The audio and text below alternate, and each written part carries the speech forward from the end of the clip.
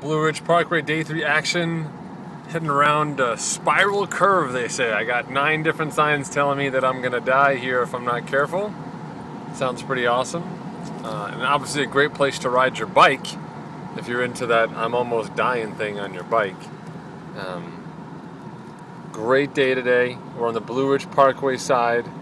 37 miles in to riding, just under 50 to go, including a, an 11 and a half mile climb estimated to take us about an hour and 45 today for that climb. So pretty epic stuff. Um, right now, folks are averaging about 12 miles an hour, between 10 and 12 miles an hour on the climb. Uh, it's, you know, this is the flat section, and uh, it's not so flat whatsoever. Um, folks are definitely feeling it. Of course, this is day three of the camp, and so uh, some folks are definitely feeling it. Uh, but in general, this is awesome. Uh, just can't believe how uh, how quiet it is out here. That car you just saw, I've been counting. That's the 23rd car we've seen in three hours. I'm not counting motorcycles, um, but just mind-boggling to me how how quiet it is out here. And definitely on the Blue Ridge side, it's a lot more rural.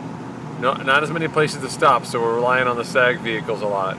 But uh, just awesome. And you can see here, this is a really good climb. So every time you go down, you come right back up again. Uh, pretty steady climb. So we come up on Jeff right now. So I'm gonna check in with Jeff. Uh, why don't we, we can ask him a couple questions here.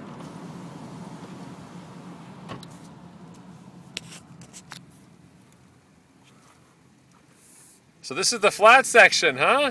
Yeah, that was a nice cruise down. Before we go up the real hill, this is crazy.